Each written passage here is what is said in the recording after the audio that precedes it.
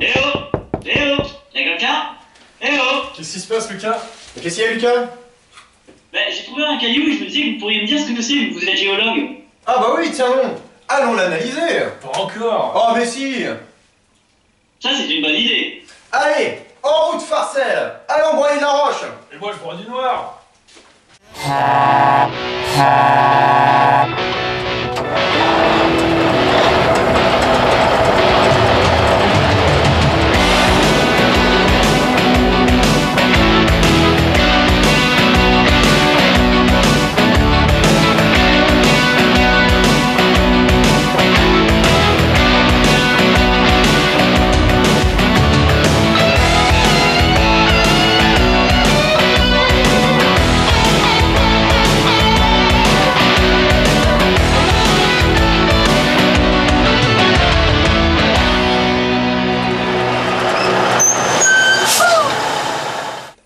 d'analyser une roche, il faut savoir ce dont on parle. Une roche est un assemblage de plusieurs minéraux qui s'assemblent entre eux, ils sont plus ou moins gentifs et ont des propriétés physiques qui leur sont propres. Il en existe de toutes sortes. On peut avoir des roches volcaniques, comme ce basalte, ou bien des roches sédimentaires, comme les calcaires, ou encore des roches métamorphiques, comme ces téclogites.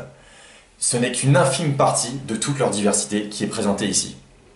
Allez Fred, c'est parti Ouais, Jean-Mi, je suis à la usine Citéval du laboratoire de géoressources. Mais qu'est-ce qui s'y passe? On va aller voir.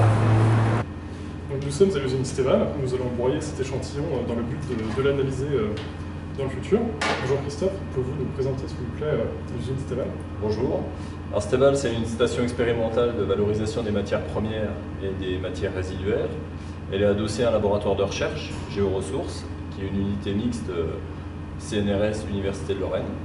Et euh, c'est un outil euh, à échelle industrielle qui permet de valider donc à échelle industrielle les procédés de valorisation de minerais qui ont été développés à l'échelle du laboratoire.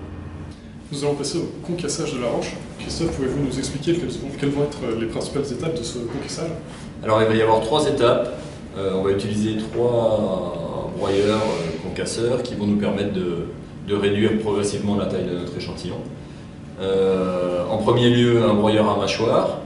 Euh, donc le, mécanisme en fait, euh, c'est un système avec une mâchoire mobile qui vient broyer la matière sur une mâchoire fixe.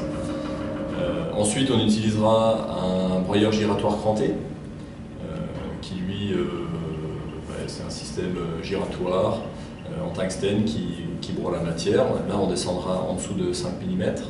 Et puis ensuite, on descendra en dessous du millimètre à l'aide d'un broyeur à cylindre. Donc deux cylindres qui tournent en sens inverse et qui, qui broient la matière.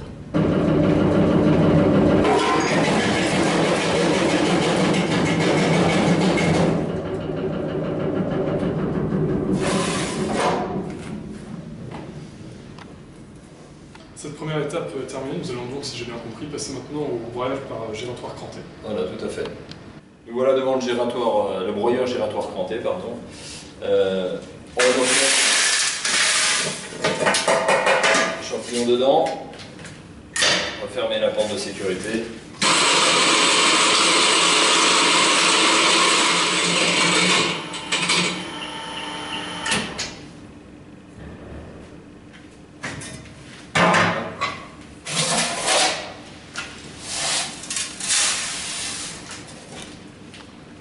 C'est très efficace. Nous allons donc passer maintenant à l'étape euh, suivante. Quelle étape?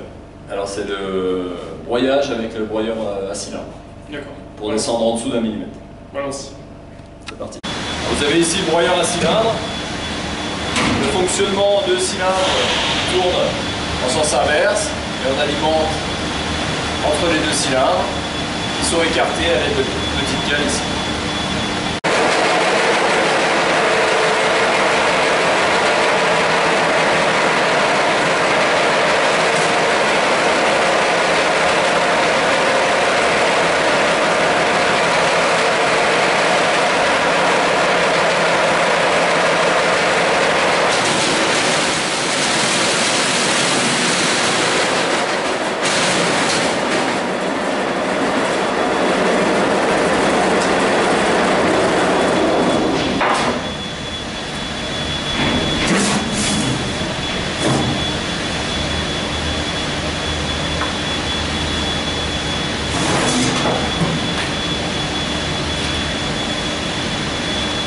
Eh Jamy, t'as vu ce sable Il est bien beau.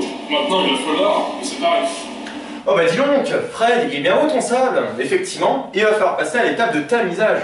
L'étape de tamisage est très simple. Pour cela, on a un tamis, ici une passoire pour représenter notre tamisage, avec des mailles, des trous, en d'autres termes, qui vont laisser passer les particules fines que nous voulons extraire des particules les plus grossières.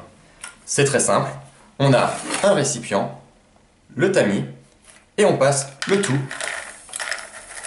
Et on tamise jusqu'à temps d'extraire les particules fines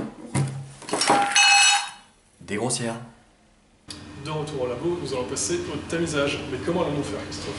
Bien, nous allons utiliser des, des tamis comme ceci, de différentes tailles. Euh, mais juste avant de tamiser, euh, il faut savoir que sur ces tamis, on ne peut pas mettre plus de 300 grammes, euh, sinon les tamis ont tendance à se colmater. Donc il va falloir séparer notre échantillon euh, au moins en deux, et euh, pour cela on va utiliser cet appareil.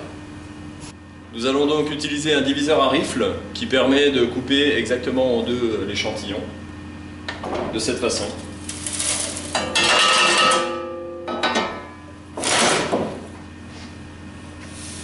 Voilà, et nous avons ainsi deux moitiés d'échantillon qui sont représentatives de l'échantillon total. Nous avons donc maintenant notre euh, sable séparé à la bonne masse pour le passer au tamisage. Comment allons-nous procéder Eh bien, nous allons utiliser différents tamis qui vont former une colonne comme ça. Donc on a un tamis de 63 microns, 88, 125, 250, 500 et 710 micromètres. Donc on peut mettre notre échantillon tout en haut de la colonne. Et ensuite, ensuite notre colonne de tamis, nous la mettons dans cet appareil. Un rota. C'est un appareil qui a un mouvement de rotation et puis il y a un marteau qui vient taper sur la colonne de tamis pour améliorer le, pour décolmater les, les tamis. Voilà. Tout ceci est insonorisé et sécurisé et on peut mettre en route pour 10 minutes. C'est parti.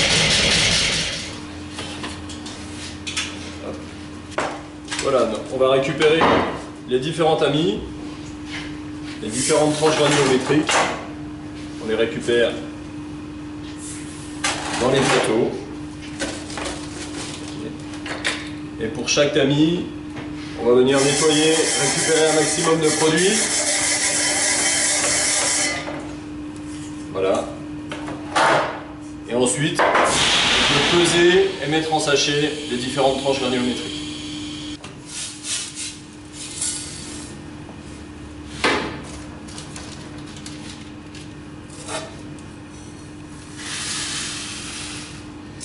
Et voilà, Jamy, emballé, c'est pesé. Et maintenant, quelle est la prochaine étape? Parfait Fred. Maintenant nous allons pouvoir passer à la prochaine étape qui vise à laver notre sable.